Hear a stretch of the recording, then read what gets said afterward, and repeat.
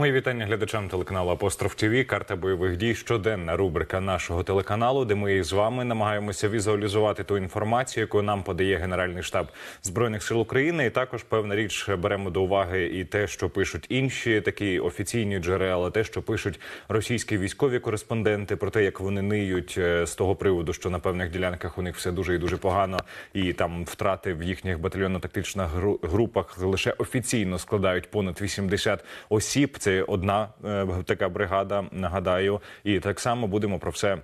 Е, Говорити і все брати до уваги. Власне для цього ми використов- використовуємо ресурс Deep State Map Live. Я думаю, більшості з вас він відомий, але все одно коротко зазначу про те, що е, таким е, зеленим кольором це позначені території, е, які звільнені від окупантів з 24 лютого. Синій колір це звільнені від окупантів території за останній період. З іншого боку, е, це червоний колір окуповані з 24 лютого території, і таким більш рожевим відтінком позначені території Ордло. Врешті сьогоднішню карту бойових дій хотілося би розпочати з півночі нашої держави, тому що дуже багато розмов насправді ем, з приводу того, що мовляв, ось до кінця листопада вже має щось початися, якийсь повторений наступ з Білорусі. Мовляв би то, що російські ем, російська і білоруська армія.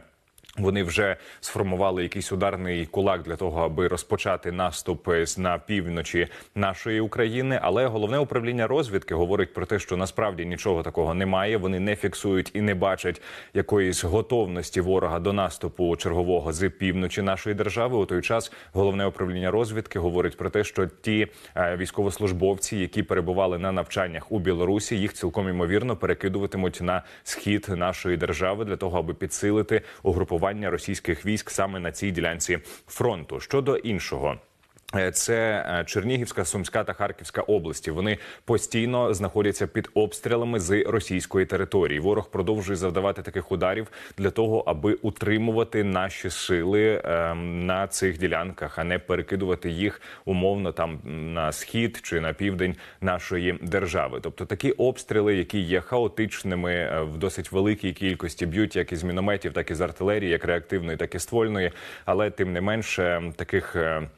Е, Якихось планових, так стратегічних цілей росіяни навряд чи переслідують. Це просто такий хаотичний вогонь для того, аби утримувати там українські е, підрозділи, щоб українська армія і генеральний штаб не змогли там підсилити якісь інші ділянки. Фронту так само напередодні ворог е, завдав ударів по Харкову з Білгородської області. Що саме це було? Е, Власне, будемо е, стежити і повідомимо про це в наших прямих ефірах. Але тим не менше, напередодні ввечері місцеві. Жителі вони чули декілька вибухів у е, самому Харкові. Ворог завдав ударів по місту.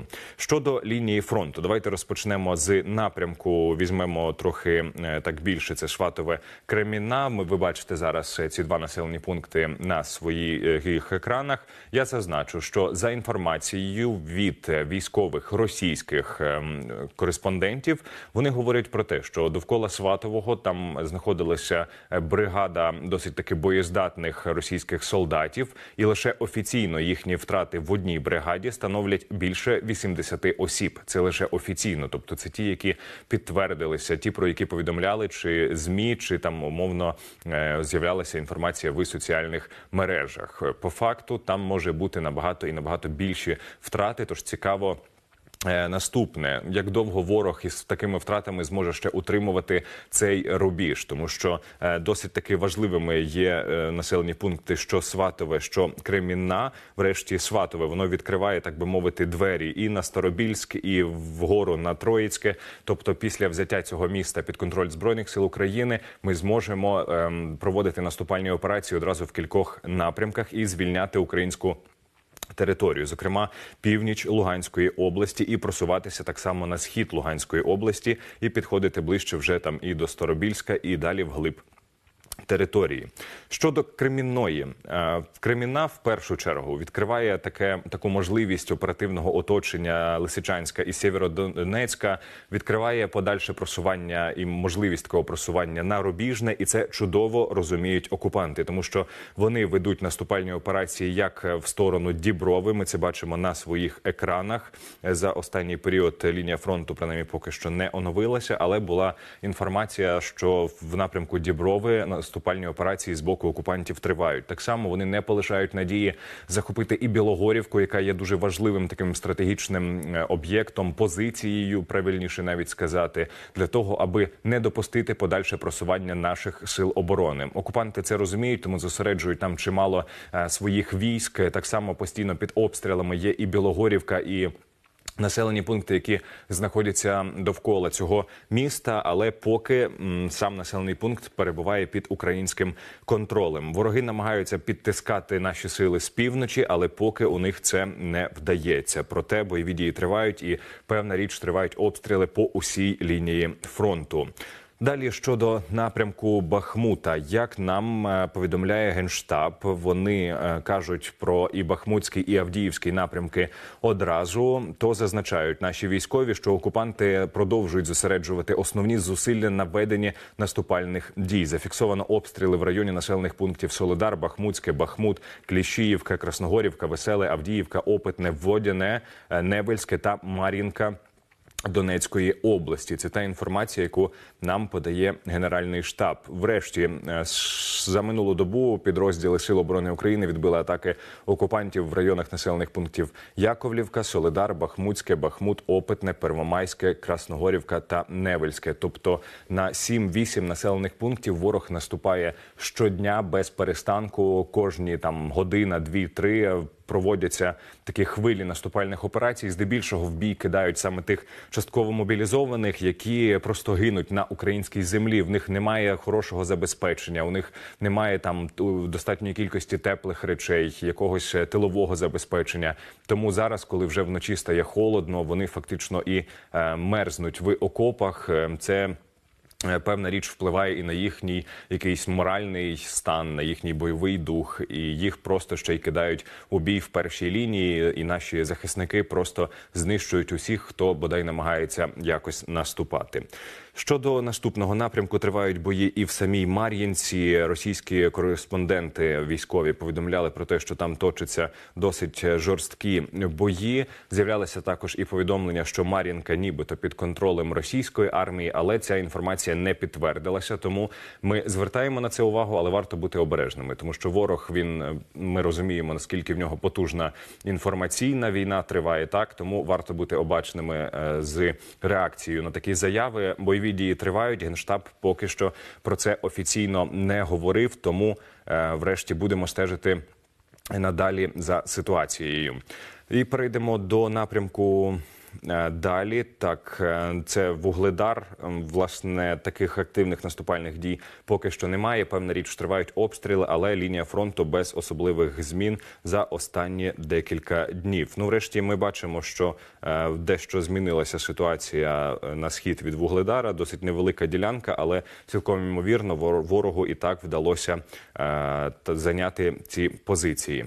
Щодо напрямку Запорізького, генштаб говорить, що підтверджено втрати противника за 24 листопада і ще на тимчасово окупованій частині Запорізької області у місті Мелітополь знищено склад боєприпасів та близько 50 осіб отримали поранення різного ступеня тяжкості. Два склади знищили у Васильівському районі.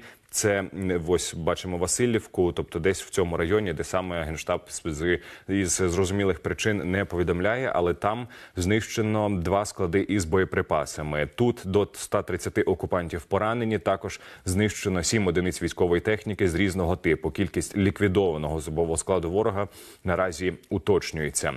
І, врешті, генштаб повідомляє і про те, що залишається невирішеним питання матеріально-технічного забезпечення мобілізованих російських військовослужбовців. Це власне про те, що і я зазначав. Е, Трохи раніше відтак у Костромській області через соціальні мережі закликають населення виготовляти маскувальні сітки, нести теплий одяг, каремати, спальні мішки та інші речі, що так необхідні військовослужбовцям в польових умовах. Водночас, незважаючи на заходи пропаганди, спостерігається певний спад матеріальної підтримки російських загарбників з боку цивільного населення. Російсько військове політичне керівництво почало отримувати доповіді про реальний стан справ проведення мобілізації та виконання плану осіннього призову призову на військову службу. Е, Що досить дивно, що генералам там і вищому командуванню почали говорити е, по, по факту, так е, що є насправді на лінії фронту, і про те, як вони організовують взагалі цю мобілізацію, і заговорили так само і про осінній призов. Ну щоб ви розуміли, я думаю, більшості відомо, що осінній призов це в принципі хлопці 18, 19, 20 років. Тобто це ті, які після школи фактично вони йдуть до армії, і зараз подекуди цілком ймовірно їх перекидуватимуть одразу в. Саме пекло на передову лінію на території нашої держави, і впевнений, що після кількох обстрілів, врешті, вони щонайменше зададуться питанням, а що я тут роблю взагалі. Нам теж українцям невідомо, що взагалі росіяни забули на нашій території, але тим не менш збройні сили України вони е, будуть працювати надалі, нищити ворога та виганяти їх з нашої території, за що ми їм дуже і дуже вдячні. Щодо запорізького напрямку, загалом то наступальних таких активних дій не помічено ні з одного, ні з іншого боку. Певна річ тривають обстріли постійно з танків, артилерії та мінометів. Ворог гатить по населених пунктах, особливо по тих, які знаходяться неподалік лінії розмежування. І на сам кінець щодо Херсонщини, то певна річ ніяких наступальних операцій ворог проводити просто фізично не може. Всі ті заяви, про які вони говорили, що мовляв би, то ми вернемося, ми там е, е, опять будемо йти в атаку і тому подібне. Це все просто маячня, тому що форсувати назад е, річку Дніпро, якось намагатися вести наступальні операції з лівого на правий берег. Це абсолютне безглуздя. У них це явно не вийде. Тим паче, що українські сили оборони зайняли досить такий широкий рубіж вздовж всього правого берега. Тому, врешті, е, ці заяви вони є маячнею і нічим іншим. Утім, попри це, ворог продовжує завдавати ударів по Херсонщині. Сьогодні вранці місцеві жителі вже чули декілька вибухів. Детальної інформації з цього приводу немає, але ми певна річ будемо стежити. Напередодні за минулу добу фактично ворог завдав близько 80 Е, Ударів, обстрілів, прильотів було зафіксовано у самому місті. На жаль, 17 людей загинуло та десятки поранених, серед яких і е, є е, діти. Їм надають медичну допомогу та всю та все необхідне лікування. Тобто, бачимо, що ворог не має успіху е, на полі бою, тому завдає ударів по цивільному населенню. Окрім цього, Віталій Кім так само застерігав українців, що мовляв би то ворог може знову вдатися до. а, Такого масованого удару по українській енергетичній інфраструктурі, і голова Миколаївської ОДА Віталій Кім зазначає, що у ворога буде можливість ще раз атакувати нас. Не знаю, робитимуть це чи ні. Мабуть, будуть. Але для нас це досвід, і ми маємо використовувати наші помилки для того, щоб надалі їх не було. Поповніть запаси води, майте при собі батарейки, газові горілки. Розумійте, що може не бути зв'язку. Нас не здолати, але ми маємо бути готовими до таких випробувань і надалі. І справді краще приготуватися, тому що чим ближче до зими, а це вже фактично е, навіть менше тижня залишається. Ворог може посилювати удари по українській енергетичній інфраструктурі і вдатися до чергового масованого обстрілу знову. Тому ми маємо бути обачними, готовими, але це ні в якому разі не зламає нас, українців. Дякую вам, що були з нами. Це карта бойових дій. Щоденна рубрика нашого телеканалу. Ми будемо продовжувати наш ефір. Обов'язково залишайте свої коментарі. Слава українським воїнам.